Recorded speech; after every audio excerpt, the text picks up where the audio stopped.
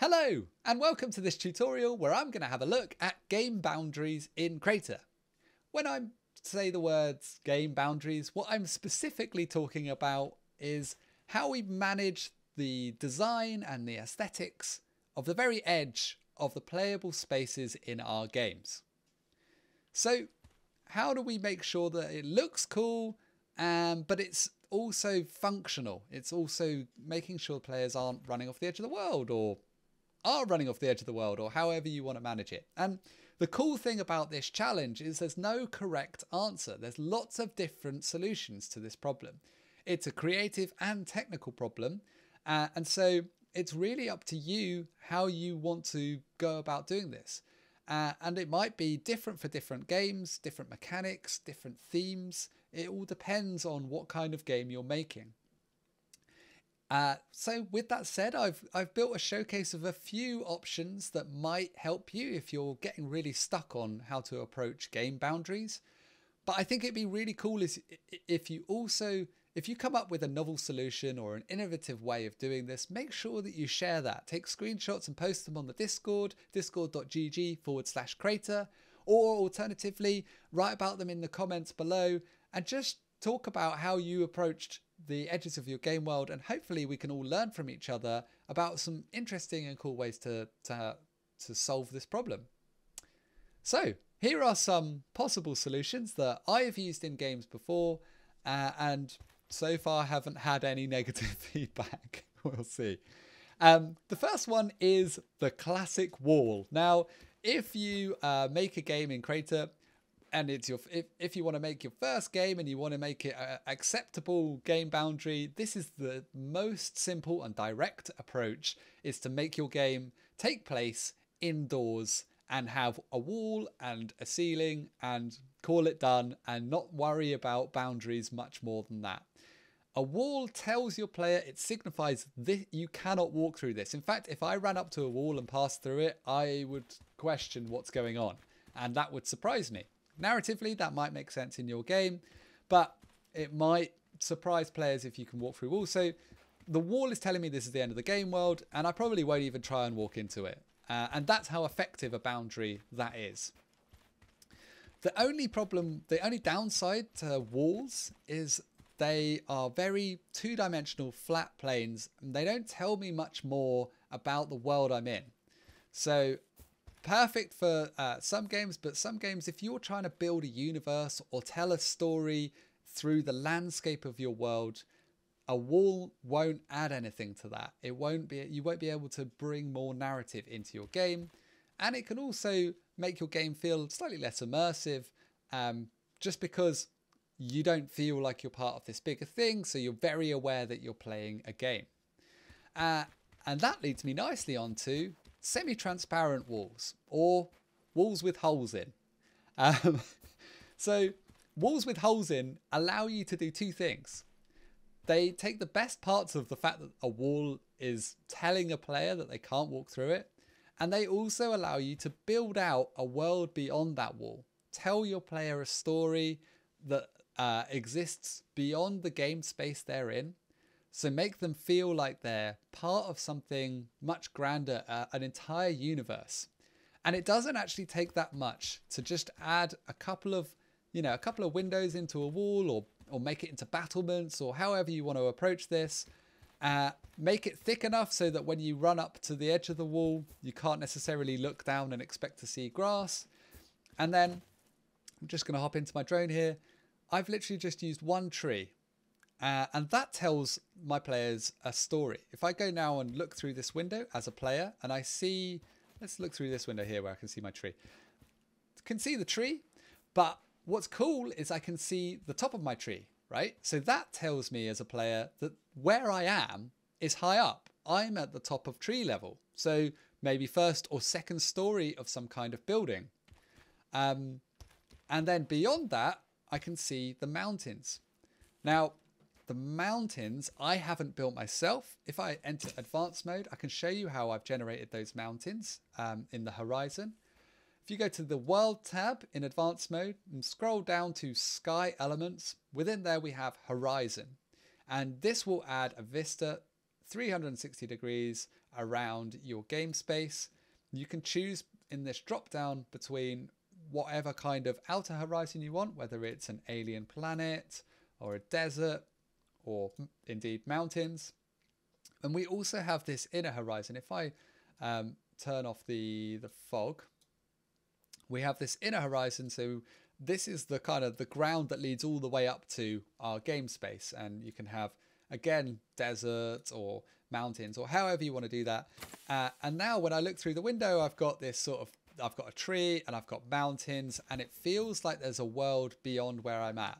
Even if it's not a fully fleshed out world and it's just got a tree in it, that tells me this is a lush green land that I'm in. Uh, you know, so that's already telling me, all right, so someone's looking after it, or nature is still a thing in this place. If it was space outside that window, or if it was a very urbanized environment, then it would tell me a completely different story. So, narrative is really important. As soon as you open up the uh, beyond the boundary of your game, beyond the wall, if you like, then narrative comes into play and theming and suggesting to your player, yeah, what else is going on in this story. So now that I've talked about walls, I'm going to start looking at some alternative ways to approach game boundaries in your creations in Crayta. So over here, I've created a, uh, a very sports themed game space. Um, so this is, yeah, I don't know what sport this is. Ah, made it up. It's a new sport. Uh, but what I have got is I've got this white line around the edge, and this is the court, if you like. And then I can actually go past that. So I can be out. Maybe that's a thing in my game. Maybe it's not. Or the ball could be out or whatever. And then I've got this red line. And the, along the red line, I've positioned an invisible wall. So if let's go into advanced mode quickly, I'll show you how I've done that. So if I click on this and go to my invisible invisible wall, wherever that is. Ah, I was looking at that one. Uh, there. Um, so this is a voxel mesh. It's an independent voxel mesh, and you can see that here. Uh, and all I've done is I've drawn a wall in rock around my game world, positioned it exactly on that red line, and then just clicked the visible checkbox to make it invisible. So notice that when it's invisible, it's still collidable, and that goes.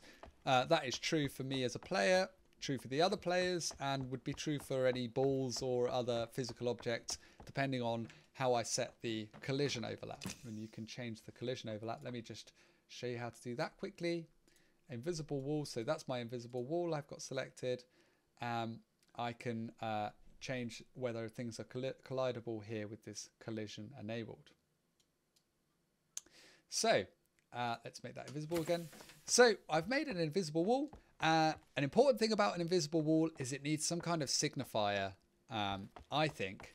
It, it's really helpful for players to have a signifier that that is going to be where an invisible wall is and keep that consistent throughout your game so that they're not constantly running into invisible walls and getting frustrated because there shouldn't be uh, an impassable object there, you know?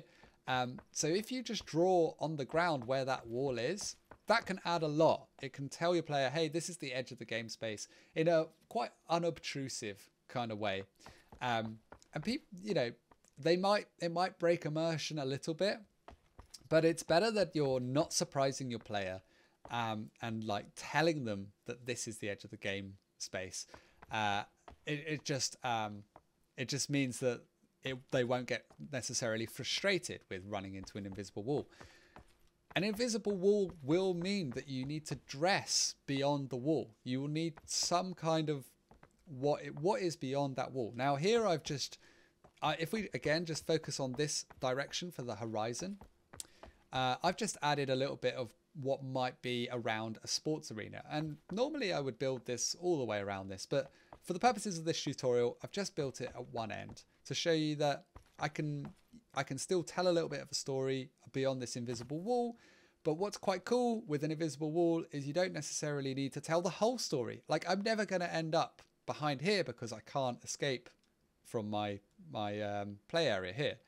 So I, I don't have to spend loads and loads of time uh, on things that aren't going to be visible to the player. I just need to dress it enough to tell the story uh, and that's enough. So invisible walls can work. They're quite a quick and cheap way of doing it, uh, of creating a game boundary, um, but worth bearing in mind that there's uh, a way of signifying to your player uh, that there's a wall there, and uh, and it's really perfect for prototyping as well. So because yeah, uh, you don't have to spend loads and loads of time doing things. uh, okay, so we've talked about walls and we've talked about invisible walls, ways to stop players uh, from overstepping the boundary. Let's now look at some of the the effects outside of that boundary. So let's go over to the beach here. And at the beach, uh, this needs this is a, something I see quite a lot of in Crayta is the terrain is extended as far as the eye can see.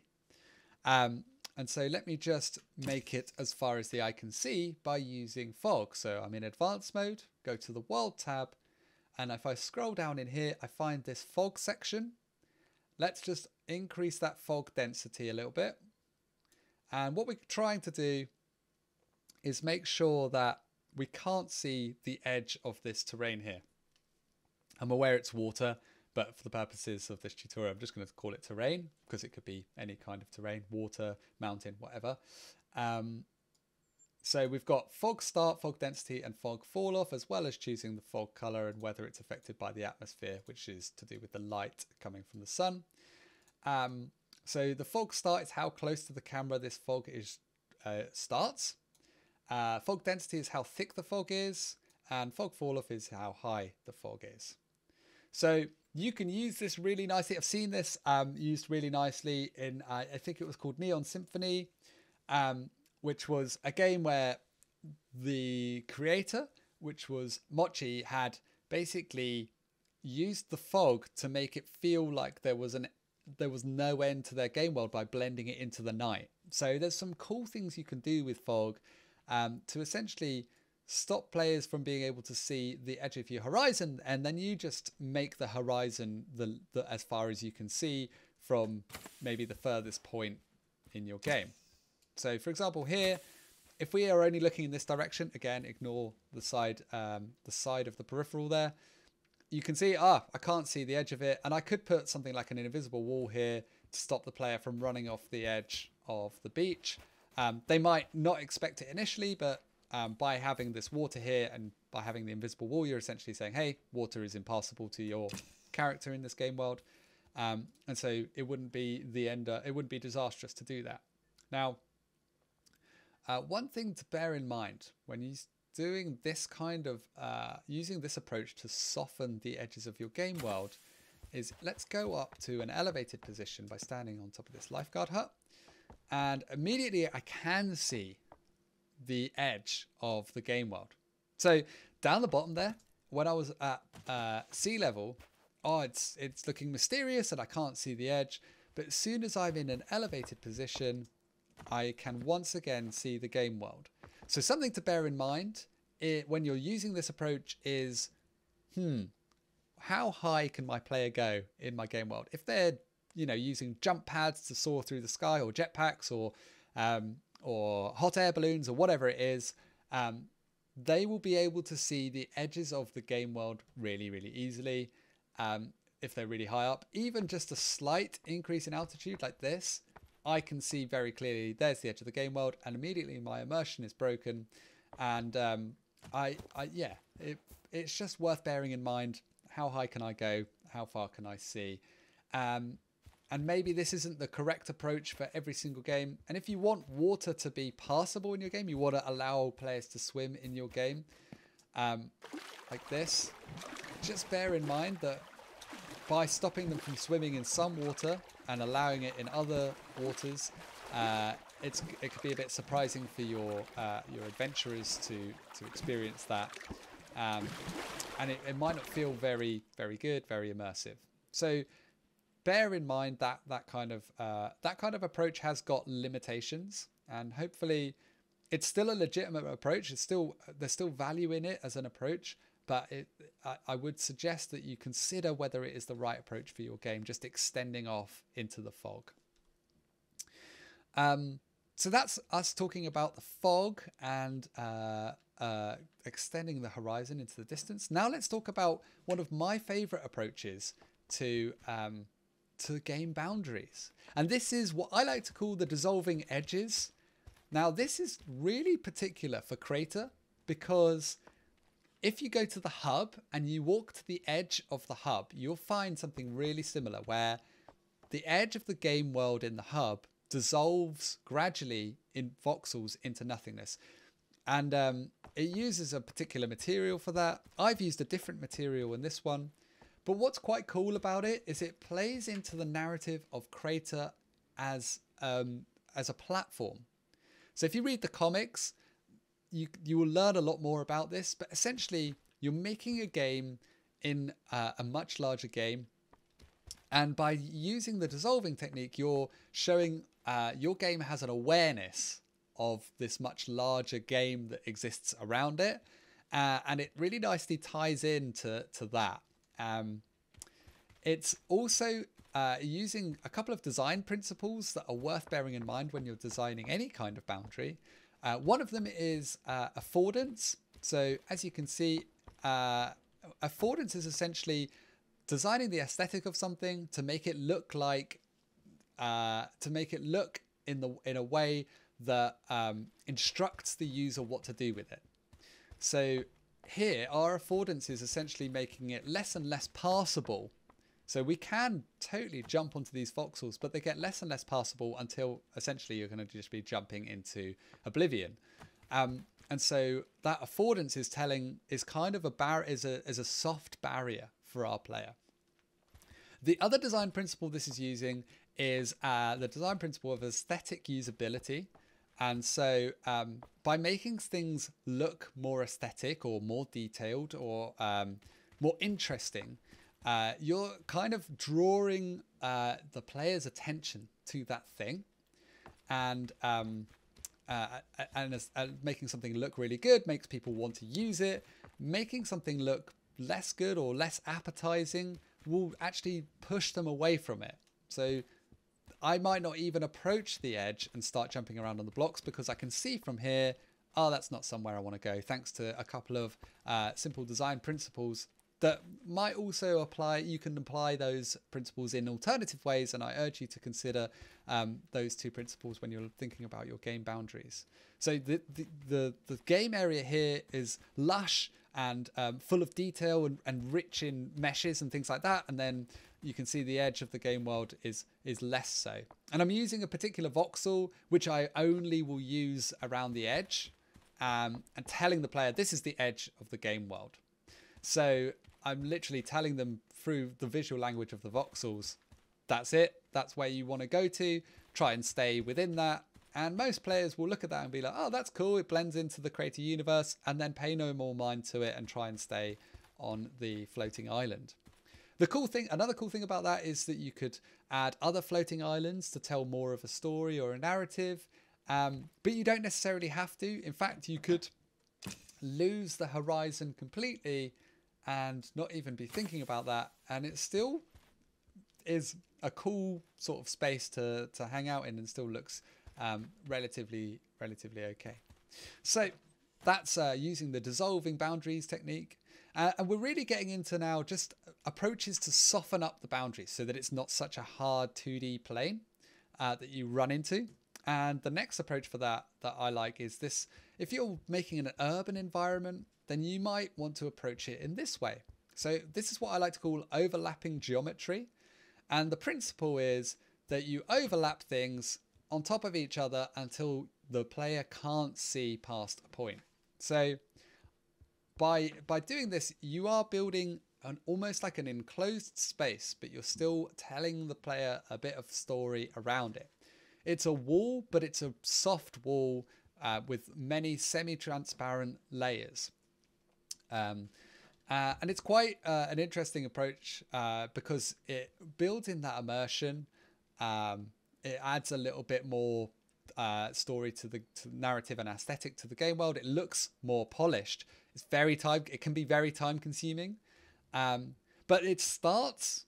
The way we make this is it starts beyond uh, before the game boundary. So here I'm breaking up the game boundary, which is this chain link fence. I'm breaking that up with um, just putting things in front of it so that it's not so flat. So I'm adding depth before it, then I have the boundary, and then the other side of the boundary, again, I'm adding layers, but notice here, I'm adding the layers in higher and higher positions.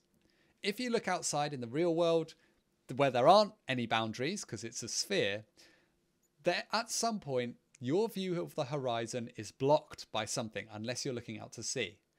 Uh, and so, in a similar vein, these overlapping geometry are gradually blocking the view.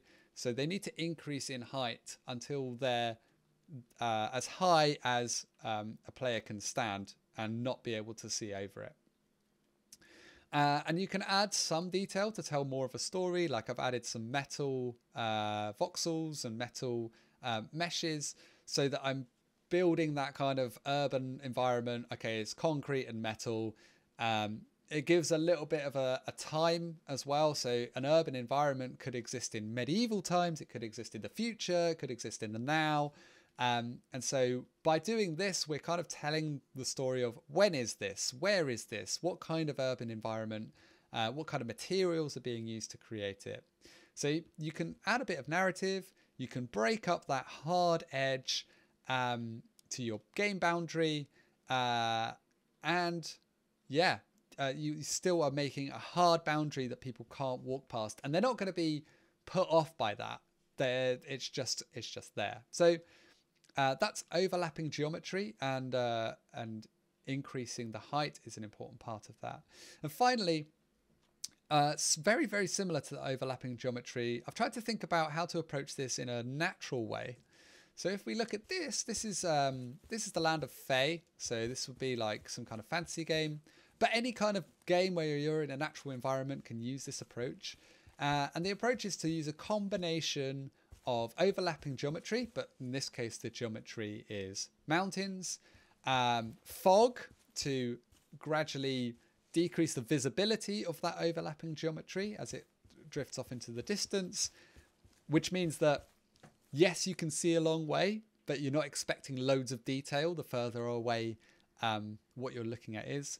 And even adding uh, a hard edge like something like this river uh, before you even get to that. So I can't necessarily look and find, you know, exactly how I've made it. Albeit, let's show you how I've made that.